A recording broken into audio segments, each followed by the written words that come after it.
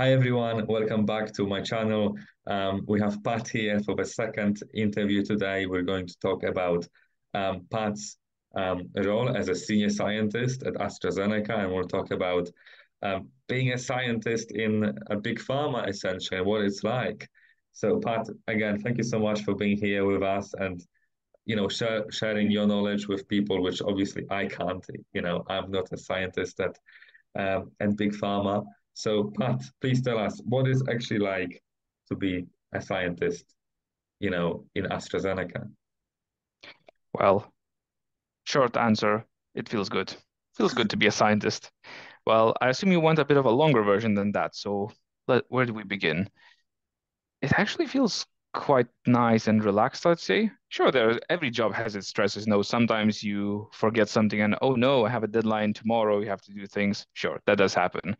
But overall, if I average everything, it's a very relaxed thing. You go in at nine, you do your work, you take a lunch break, you then finish at like what, four o'clock, maybe 4.30, just wrap up things, you know, answer a few emails, set your notes for tomorrow, and then you go home. So it's a stable nine to five job, and it's very relaxing in that sense because you have a you have sort of like a schedule, you have things to do, you have ideas that you want to pursue, but there's never any sort of looming deadlines that really push you to work past the hours, to work on the weekends, to do things that you don't really want to. Mm, sure. So then, you know, what are the common misconceptions that you had or people might have about, you know, working as a scientist in industry? Because honestly, what I've heard when I was a PhD student is that, oh, you're just gonna keep doing PCR to, every day for eight hours. It'll be very repetitive. it will not be stimulating at all. So Please enlighten us, Pat. Yes, um, I was actually thinking about the about this when you said, and in my mind, I just conjure up an image. So imagine myself at the very end of the PhD when I'm just thinking, what is industry? This scary dark lands, you know, where we shouldn't go in the distance. And I was imagining just being a, at a sort of factory setting where you just constantly do something and just do it again. And as you describe it, it could be a PCR, it could be culturing cells, but repetitive tasks, the same thing again and again and again. And yeah, I was really wrong. Uh, that is not how industry is. At least, at least the big pharma is not at all like that. So, what, what is it like? I, I was about to say, like, what do I actually do? Well, I'd probably say that my job is mostly three things. The first one is, well, as a scientist, you do science. I, guess that's self-explanatory. You come in, you plan an experiment, you do the experiment, you analyze the data, you write it up, you create a report, kind of create a sort of data package, just one big data clump that then you can give to management, give to people in control who then can make key financial decisions. So should we proceed this further? Should we com- should we continue producing this drug? Should we perhaps stop this drug because it is not up to the standards that we have? Like it doesn't reach the quality control we want for it, that those sort of things. So that's the first part. The second part is actually the sort of research research, I would say, because I'm reaching out to other teams to find people who are researching new techniques, new modalities, new sort of avenues to pursue. We're actually talking with teams overseas and looking at things that we can implement in our projects. And it's just fascinating to work on new things. I would probably compare to how CRISPR broke through into every bit of academia same here. Sometimes you have a new technology just break through through everything you do, and you're just excited to use it. You know, you're you find that joy like, ooh, will it work on my project? Will it make it better, faster, more efficient? Will it be slower? So that's the second part, the actual mm-hmm. research, research. And then the last bit, being a senior scientist, is the sort of managerial role.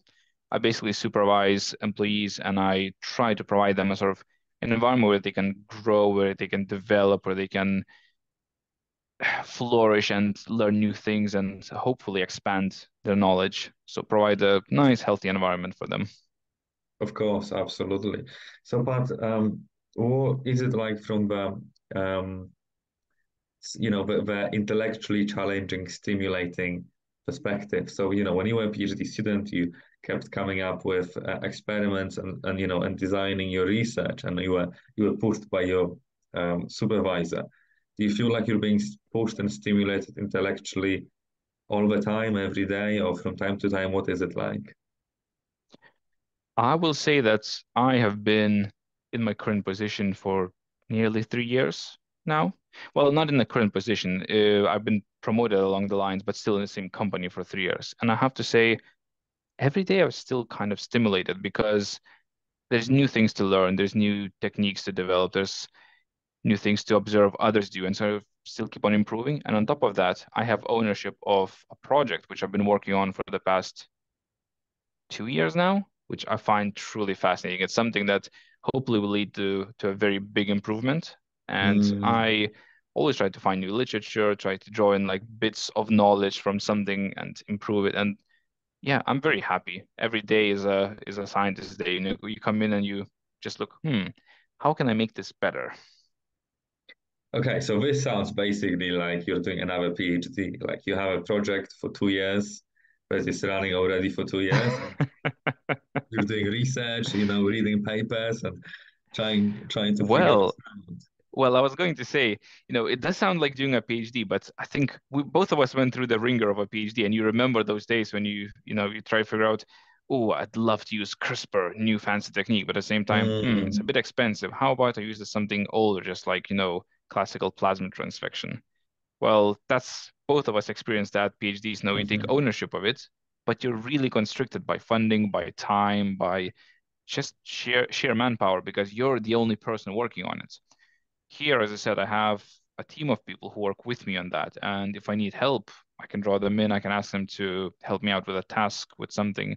And on top of that, I think this kind of speaks to the ethos and the sort of overall structure of what is academia and what is industry. Academia is about a scientist publishing a paper. That's the sort of main idea of it. And so it guides the whole process. You do you do work, you do the data, you write it, you maybe collaborate, but you still aim to publish.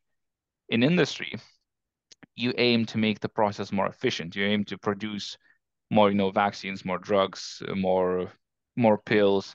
Essentially, you want to make the patients suffer less and increase their quality of life. So how do you do that?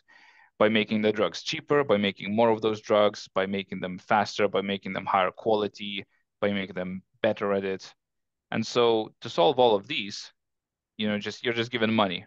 Here, here's a bag of Mm, cash. Just do something. Just solve these problems. So mm, instead of having problems to break through into the paper in industry, I find it's just you're pushed to solve it, and so it's a lot easier because you're not really slowed down by all these problems.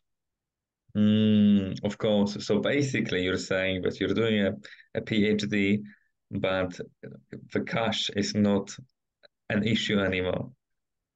I would actually say so. Yeah, it sounds very Scrooge McDuck of me to say it, but essentially you're given a PhD, you're given a, a golden credit card. Yeah, just spend your money on it. And you're also given uh, a second person to help you out, you know, just just in case you get a flu or in case you need to go on annual leave, they just step in and do the work. So it's like a PhD, but with certain key things a little bit different.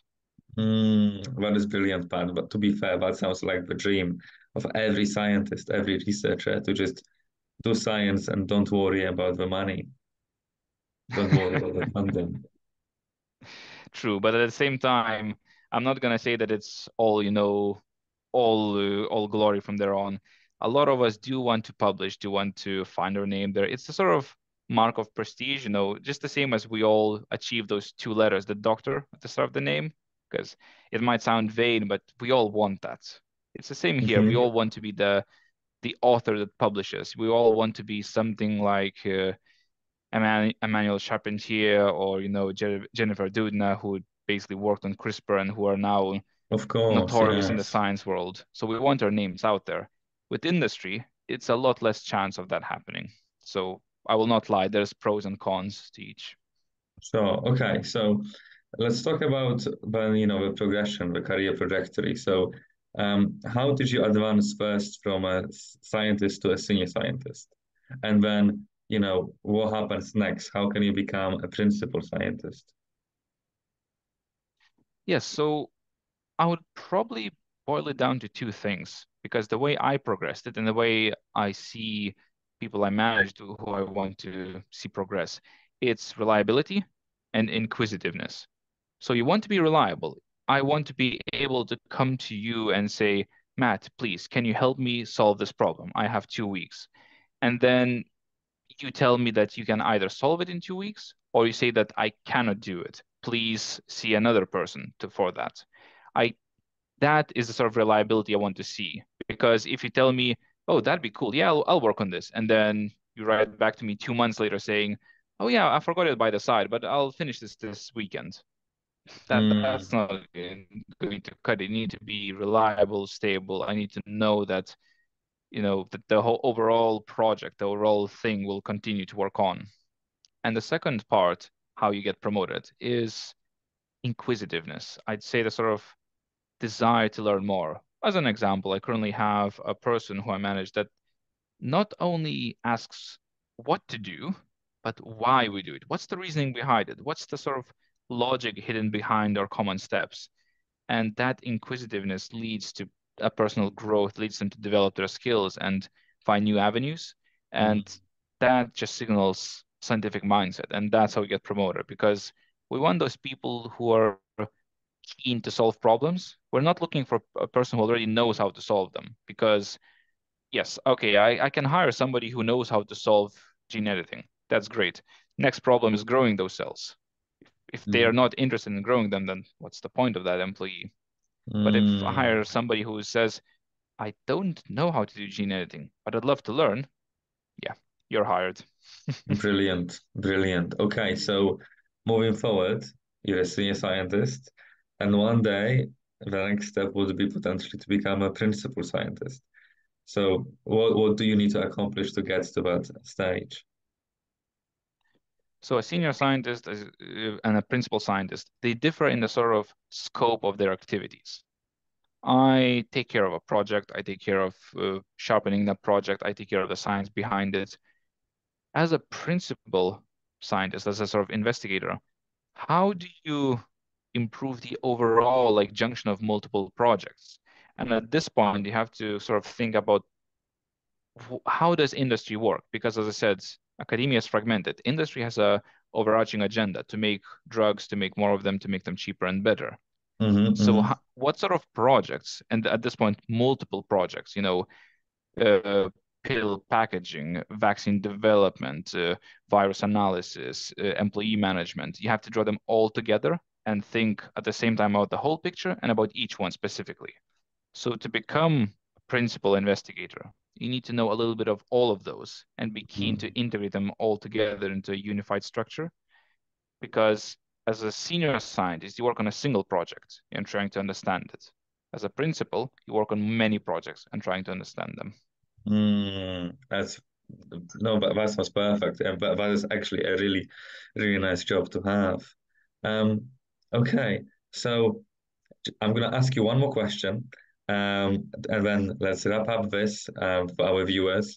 Um, and then in the next episode, let's focus for oh well, let's focus on the recruitment and interviews so people know how we can actually get there. Um, so my last question for um, this this part of the interview about um, your job is what can people expect in terms of starting salary, and then how much could they potentially earn, you know, if, if they progress to the principal scientist role? Yes. So the the current senior scientist in sort of like pharma industry in the sort of biopharmaceuticals is around 50,000 a year. However, it really, really depends on the industry, on the position, on the seniority. And so it's difficult really to say, to say because I know for a fact that if you move to something that is associated with pharmaceuticals, for example, packaging, mm-hmm. that pays a lot differently than something in my field, which is gene editing.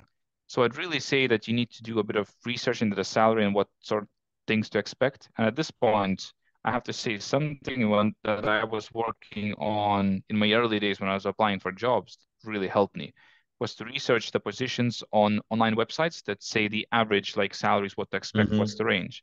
One of those that I have used is called Glassdoor, and I, I could personally vouch for that, but I'm sure there are plenty of other alternatives. So, dear listener, if you're listening to this, just do a little bit of research and kind of see what you would be expecting.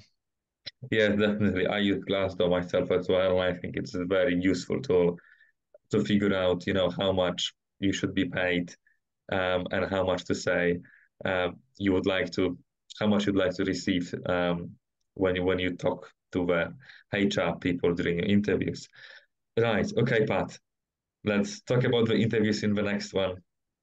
Um, thank you so much for this, and I will see you and everyone else next week. Thank you, Pat. Thank you.